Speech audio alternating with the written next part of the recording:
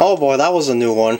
The batteries cut off for once. Not the camera itself, the batteries. Yeah, I used up a whole set of rechargeable batteries just for a single walkthrough. Wow.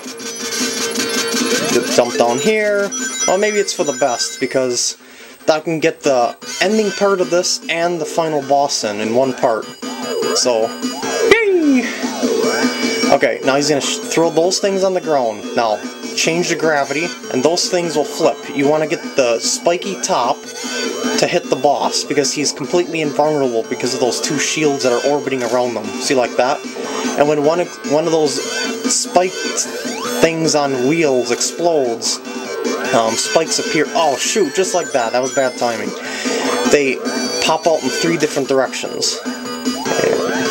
So you just gotta keep going up and down, up and down. Yeah, this boss is pretty easy, and yet at the same time it's not, because you gotta have a little luck on your side. I mean, granted you can do it every time, but to do it without taking a hit is pretty rare. Watch carefully, I think I'm gonna hit him. Yes. And wait, go up. Oh yeah! I think I'll be able to get a hit right now. Yes! So you just gotta carefully watch. Like, when are they gonna intersect when you swap the gravity? There we go. That's it! Get ready for the final boss.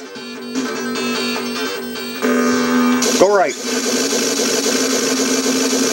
When you get all the way to the right side, the earthquakes will stop, and he'll start coming for you. There he is. Remember the hand boss in Lava Reef Zone? Same concept. Every time he moves, once, he's gonna slam his hand down. Once, slam down. Easy. It's the second part that's the hard part.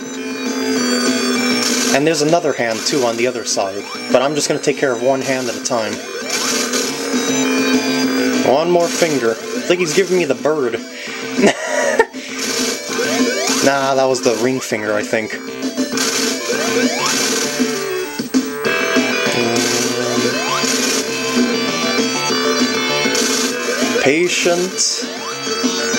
Be patient. Your patience will be rewarded.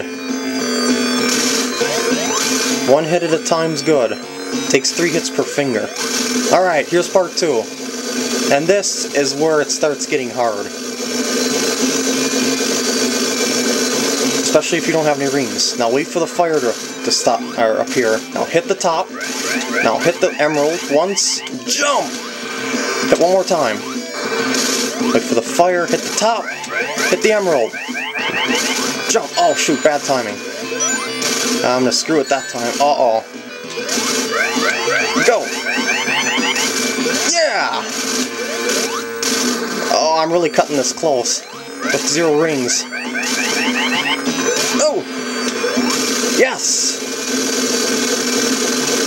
Alright, here's the final part. This is the chase.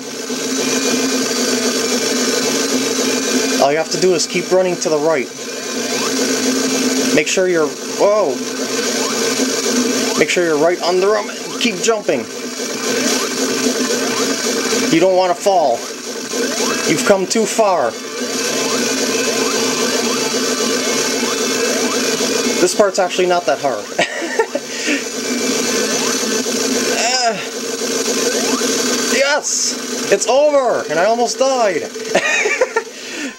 if I wouldn't have jumped, I would have died.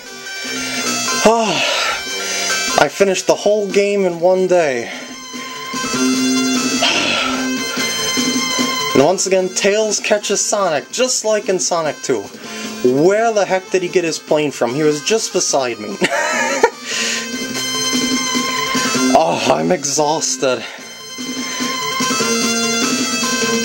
I have a lot of respect for people that do these walkthroughs now that I started doing them. I mean, I had respect for them before, but I have more now. Because of how much work you have to put into them. Especially when you got a camera that only does a minute and six, uh, 8 minutes 16 seconds at one time. I think what Sonic and Tails are doing is putting the emerald back on the island to lift it out of the ocean. If I'm correct. Oh no. Well, I guess that's it. I hope you enjoyed this. Wait a second. Isn't there a little more? Yes, there is.